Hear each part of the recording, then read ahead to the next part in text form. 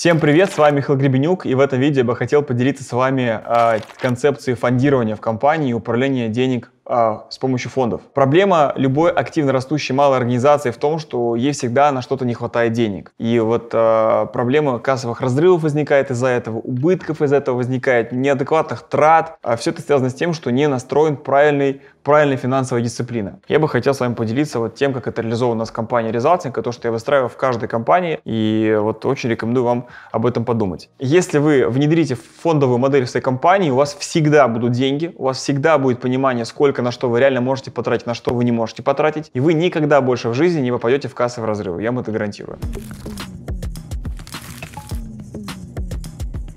Итак, давайте разбираться. Фонды – это так называемые кошельки, да, по которым мы раскладываем деньги. Представим себе семью. Семья – это компания, в которой пришел муж с работы и принес зарплату. У этой семьи есть расходы, которые она несет каждый месяц. Например, надо купить еду, надо заплатить за квартиру, надо оплатить там кредиты, может быть, ипотеки, надо э, поехать в отпуск, надо купить одежду, надо купить подарки на день рождения, надо хотелки себе купить, чем-то себя порадовать. И еще в идеале отложить там на инвестиции, просто как бы какую-то подушку смировать. Представьте себе семью, в которой пришла вот сумма этой денег, и вот у них есть такие бочонки, бочонки, а, и в каждый бочонок они там по 5, по 10, 20 тысяч рублей раскладывают, а, семья там, да, вот Горбуньковы. И вот в итоге у них а, рождается идея, а давай мы пойдем в выходные вот тратить э, на одежду деньги. Фактически их может быть, допустим, на руках там 300, 300 тысяч рублей. Но реально в кошелечке на одежду отложена только тридцатка. То есть они как бы, да, имеют наличность, но если не потратят все это на одежду, они нечем будут платить за все остальное. И так обычно происходит в компании. Мы тратим деньги не по средствам. И очень важно собрать такие вот э, кошельки, по которым вы будете каждую неделю по финансовой дисциплине раскладывать свои деньги. Как это сделать? А, вы берете за весь прошлый год, а лучше за два года, и просто берете основные статьи расходов а, фонды, которые, скорее всего, есть практически в любой компании. Давайте их перечислим. Первое – это налоги. Второе – это расходы на рекламу продвижение компании. Третье – это зарплаты бэк-офиса. Четвертое – зарплата отдел продаж. Пятое – зарплата топ-менеджеров. Шестое – это ваши дивиденды, которые вы потратили. Седьмое – это всевозможные сервисы, CRM-системы, там, э, там, телефонии, ну то есть то, что вы оплачиваете, чтобы ваша компания работала. Аренда офиса, закупка себестоимость товара, материалов, резервные фонды, может какие-то отложения там или э, кредиты вы покрываете, там, ну в общем вот базово хотя бы эти 10 штук. Ну какие-то может дополнительные прочие, там корпоративы, веселительные мероприятия, там фонд персонала, можете сделать, у меня есть фонд обучения владельца и фонд обучения команды. И после этого вы берете, делаете такую табличку, где у вас э, идут э, в строчке э, это фонды, а в столбцы это месяца. И вы заполняете за каждый месяц, сколько денег вы потратили на эту статью примерно вот в прошлом году. В идеале точно прямо из банка сидеть плюсиками суммировать. После этого берете, добавляете всю выручку по месяцам по году и складываете все расходы по статьям за год и все доходы по всем статьям за год. И вы делите теперь в финальном этапе э, расходы на фонд на ваш э, доход и получаете, какой процент реально вы потратили э, на какую-то трату, то есть на какой-то фонд. И вы сможете увидеть текущую модель, то есть как вы по факту сейчас прожили этот год, сколько денег вам обходился маркетинг, сколько денег вы потратили на налоги, сколько на зарплаты, сколько на дивиденды достали. Это ваша реальная модель. И после этого берете и закладываете примерно так или как-то по-другому чуть перераспределяете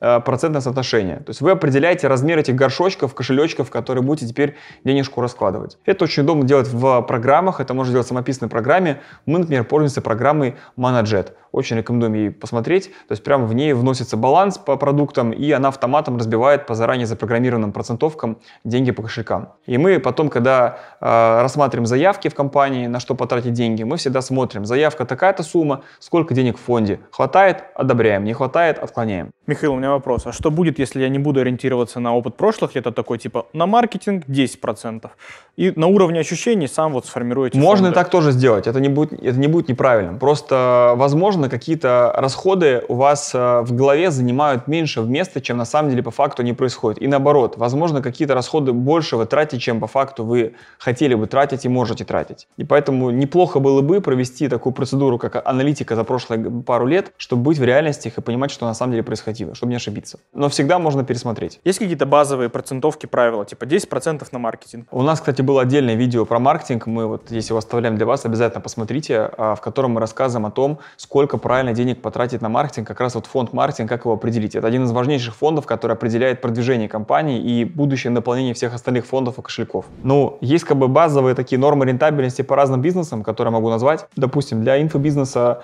нормальная рентабельность там до 30, 40, 50 процентов. А для услуговых компаний примерно так же. Для производства там 20-30 процентов. Для торговых компаний там это больше 7, лучше больше 10 процентов рентабельность. Вот. А, так что вот вы можете определить, что за ниша у вас и сколько вы сейчас примерно дохода чистого имеете от этой компании, примерно так сформировать фондирование. Что еще может сделать фонды? Если вы сделаете фонды, то вы точно сделаете себе фонд дивидендов. То есть фактически вы будете понимать, что у вас есть четкая константа, конкретная сумма денег, процент от каждого дохода, который попадает в кошелек дивиденды. То есть это как такой, знаете, налог учредителя. И тогда не возникает такая проблема, что вы типа всем заплатили, на все потратили, корпоративы провели, конференции провели, непонятные траты провели, а себе на зарплату не хватило. Окладик достали 100 тысяч рублей. Ужасно. Наш мозг теряет энергию автоматически, потому что он вкладывался в компанию, а она ни хрена не дала обратно. И прикиньте, как вы будете рассуждать. Если вы будете знать четко, что вот с каждого полученного в компанию тысячи рублей вы забираете себе там, условно говоря, 200, вы такой думаете, ага, а что если я сделаю миллион рублей? Сколько тогда я заработаю? И вот когда вот мы такие фонды сделали в семье,